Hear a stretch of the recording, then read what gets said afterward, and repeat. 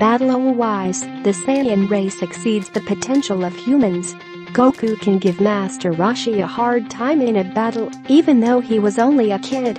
And after so many years, Goku successfully exceeded all the Earthlings from Dragon Ball. Even Master Roshi is no match for Goku and Dragon, but even though the Saiyans are better fighters than humans, the Saiyans cannot beat humans in three things. Technique. The Earthlings' potential is not that big compared to the Saiyans who can even attain the power of gods. But if there's something Saiyans cannot beat Earthlings, when it comes to battle, it is their creation of techniques.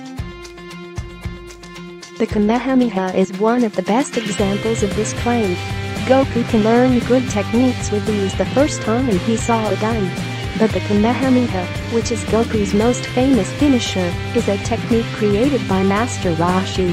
It took the old master 50 years to complete this attack. It is not only Master Roshi who has a thing for creating techniques. Krillin created his technique, the Destructo Disc, which works well to his advantage. And even Yamcha has Wolf Fang Fist on his sleeves that he uses very well. There is even the Mafuba, which is from last resort once everything goes very wrong. Technologies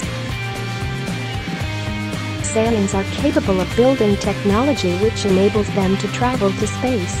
But they can't build more complicated machines such as Bulma's time machine and the capsule technology.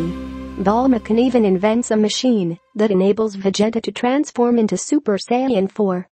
Bulma can also make and repair dragon radars in a very small amount of time. So far, we haven't seen a Saiyan or someone who can do this feat. And because the androids is the product of a human mind, they can be added to the list. Dr. Gero's creation of the androids just shows how humans are capable of creating something that can destroy the universe. Food Once upon a time, during the Saiyan saga, Vegeta was contented in eating the body of his enemies. Sometimes I forget how freaking metal Vegeta was during his earliest days. If you ask me, Vegeta only got a taste of really good food on Earth.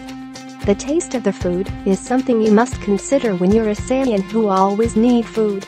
Even the god of destruction Beerus became addicted to Earth's food. It was the food on Earth that saves the planet after all.